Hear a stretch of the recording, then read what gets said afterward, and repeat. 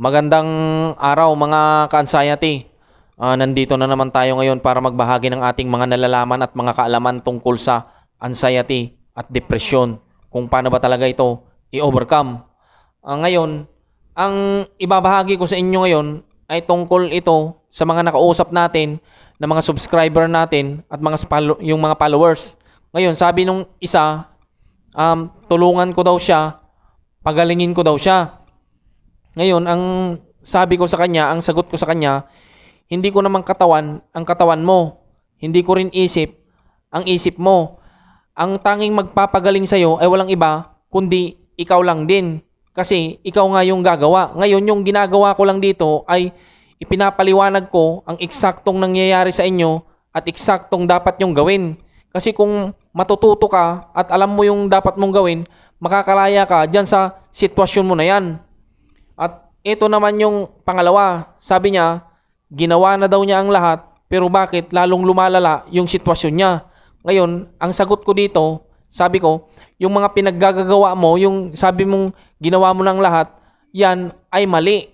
Kasi, kaya yan mali dahil ah, na-prostrate ka. Ibig sabihin, kaya ako sinabing mali, kasi kung tama, edi dapat, eh, nakarecover ka na o magaling ka na.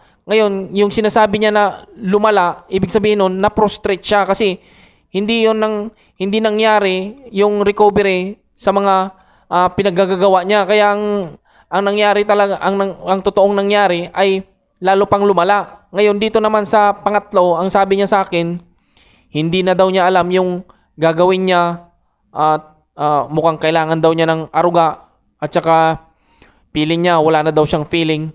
Ngayon, ang sabi ko naman dito, yung nangyayari sa'yo ay epekto na yan ng paglaban mo at pag-iwas mo dyan sa nararamdaman mo. So, ibig sabihin, yung mga nararamdaman mo ng mga pangit o yung mga sintomas ni anxiety disorder ay ayaw mo yun maramdaman o baka yun ay nilalabanan mo o iniiwasan mo. Kaya naranasan mo yung ganyan. Dapat ninyo itong malaman mga ka-anxiety na ang anxiety disorder ay hindi ito yung basta natulog lang tayo tapos paggising natin ay naramdaman na natin agad ito o naranasan agad natin ito. Dahil ang anxiety disorder ay meron itong dahilan. Hindi natin yan mararanasan, hindi natin yan mararamdaman kung wala yang dahilan. Kasi ang anxiety disorder o yung ah, mga sintomas na nararanasan natin ngayon, nararamdaman natin ay reaction yan ng katawan natin na ibig sabihin meron tayong hindi gina meron tayong ginawang hindi maganda sa sarili natin. Yun nga yung pang-i-stress o pag-aalala. Ngayon, um, bakit ito lumalala ng lumalala? Yun yung tanong. Kasi lumalala ito ng lumalala, dalawang bagay lang naman yan eh. Unang-una, wala tayong wala kayong clue. Pangalawa, hindi kayo na-educate. Ngayon, ito yung sinasabi kong clue. Yung clue, kapag wala kang clue, so ibig sabihin, wa- wala kang impormasyon at wala kang idea. Ngayon, kung wala kang impormasyon at idea, eh wala kang makukuhang sagot sa mga katanungan mo tungkol dyan sa mga nararamdaman mo at nararanasan mo at nangyayari sa'yo. Ngayon, siyempre, pag wala kang impormasyon, eh talagang magtataka ka o um, minsan malilito ka rin dahil hindi mo ala, hindi mo nga malaman kung saan nanggagaling yan o paano yan ah, paano yan nangyari sa iyo paano paano yan nagsimula di ba? Ngayon ito naman yung pangalawa ah, hindi ka na-educate. Hindi kayo na-educate. So ibig sabihin pag hindi kayo na-educate hindi kayo natuto. So pag hindi kayo natuto so ibig sabihin hindi nyo natuklasan ang ibig yung sabihin na natuklasan, halimbawa, na ang anxiety disorder ay harmless. So, kapag hindi nyo natuklasan na harmless ang anxiety disorder, eh, di ba wala kayong ibang ginawa kundi magtago o ah, labanan o kaya ay minsan magpadala sa emergency kasi hindi nyo nga alam eh. Hindi nyo alam eh dahil ah, naniniwala kayo dun sa takot na nararamdaman nyo. Yun lang yun. Um, alam nyo, mga ka-anxiety, ang maibibigay ko lang na tulong sa inyo para ma-overcome nyo ang anxiety disorder nyo ay yung bigyan kayo ng impormasyon. tungkol sa mga nararanasan nyo na yan dyan sa anxiety disorder nyo. Ngayon, um, kailangan nyong unawaing mabuti ang mga sinasabi ko at nang sa ganun ay maintindihan nyo nga kung ano nga yung mga nararanasan nyo. Kasi yung eksaktong sinasabi ko ay kung paano mo ilagay ang iyong sarili. Ngayon, kailangan mong magpatuloy sa buhay kahit gaano pa ito katotoo ang sensation na nararamdaman mo. Kasi yung susi sa kalayaan ay napakasimple lang, ngunit napakahirap sa pakiramdam. Oo, totoo yun. Pero hanggang doon lang naman yon. Gaya nga ng sabi ko sa inyo, wala namang ibang kayang gawin ang anxiety disorder, kundi pahirapan lang kayo. Ngayon, ang, ang mabigat na dinadala mo ay ito, yung pag-aangkat mo ng pagkagambala sa iyong sarili. Ngunit ito ay isang mabuting paraan. Tandaan nyo ito ha, yung pagkagambala mo sa iyong sarili ay mabuti ito kapag hindi ka gagawa ng isang bagay para ito ay maiwasan. Hindi kasi natin mapipigilan ang mga iniisip natin. Ngunit, maaari natin itong sirain sa pamamagitan ng ugali natin. Yun yung babaguhin natin. Ngayon, um, kapag naiintindihan mo na ang isip mo, alam nyo kapag naiintindihan nyo na ito, uh, kahit gaano pa nakakatakot o nakakakilabot yung iniisip ng isip mo, ay hindi mo na ito siseryosohin.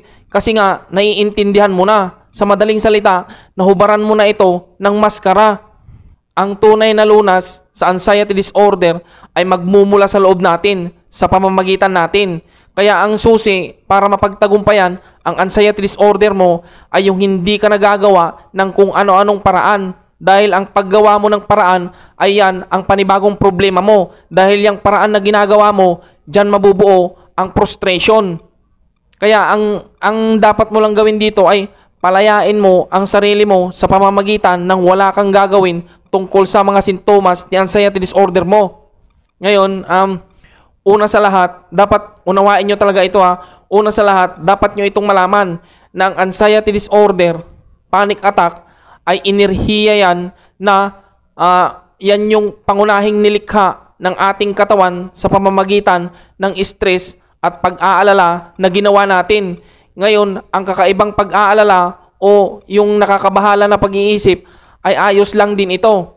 Dahil kapag ang pag-aalala o yung concern natin ay tapos na, yung enerhiya na yon ay na-release na, di ba? Kaya nga yung ibig sabihin, wala siyang sariling supply, kaya bumabalik tayo sa isang pakiramdam na kalmado. Dapat nyo itong malaman. Unawain nyo itong mabuti at maniwala kayo sa akin hindi ka dapat mag-alala, lumaban o mag-isip ng paraan sa kung ano ang pangit na yung nararamdaman kasi habang sinusubukan mong lumaban, mas lalo kang lumulubog. Hindi kasi ganyan ang tamang paraan para makarecover. Dahil ang gusto kasi ng ating katawan at isipan ay wala ka nang dapat gawin. Ipaabaya mo na lang ito sa kanila.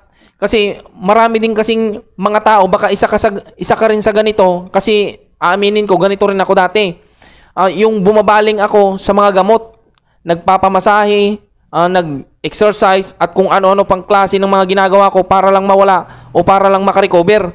Pero sa totoo lang, hindi ganyan ang paraan para ikaw ay makarecover. Dahil yung mga ginagawa mo na yan, hindi ko naman sinasabi na mali yung ginagawa mo, kundi mali yan para gamitin mong uh, uh, makarecover ka. Yan yung mali.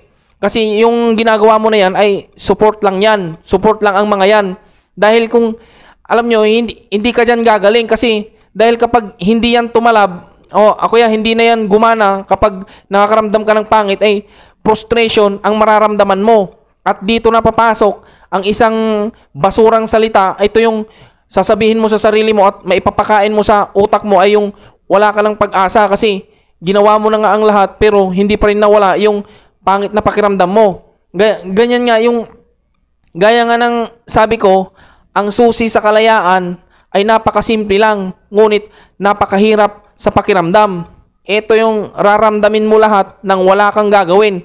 Lahat ng mga pangit na pakiramdam mo ay raramdamin mo yan para wala kang maipakain sa basura sa utak mo. Alam nyo, mga ka-anxiety, um, kaya ang isang tao ay patuloy na nababalisa kapag na-stress kasi tayo at nag-aalala sa loob ng mahabang panahon kaya ang enerhiya na ito ay patuloy na nalilikha at hindi ito nare-release. Ibig sabihin, hindi ito napapakawalan. Dahil meron kasi tayong mas higit pa na nililikha. Ito nga yung nilalabanan natin at iniiwasan. Sa madaling salita, ayaw natin maramdaman. Kaya yung pagkakataon na ma-release ito ay hindi nangyayari. Ngayon, ah, dahil dito, ang energy na ito o yung anxious energy ay naiimbak sa loob ng ating katawan. Kaya ito yung nagiging salarin kung bakit dumadami ang sintomas natin o yung mapaphysical man o psychological. Kaya patuloy natin itong nararamdaman ang pagkabalisa. Kapag patuloy tayong nababalisa, ibig sabihin patuloy tayong nai-stress at nag-aalala. Kaya nagdudulot ito ng torture sa ating nervous system na nagpapatindi sa ating damdamin ng pagkabalisa. Ngayon, ah, para ma-release kasi ito, ma-release ang enerhiya na ito, ay kailangan lang nating pumayag, ramdamin ang mga pangit na pakiramdam o yung pagkabalisa. Ganun lang ang gagawin, wala nang iba pa. Alam nyo, mga ka-anxiety, ah, yung ibang mga tao, kaya sobrang tagal na nilang nagdudusa sa anxiety nila dahil ayaw nila itong gawin o kaya wala silang clue at hindi sila natuto ang, ang ginagawa nila, yung ginagawa kasi nila palagi ay ah, naghahangad sila ng paraan para puksain o iwasan ang nararamdaman nila. Kaya ito ang dahilan kung bakit hindi sila makalaya.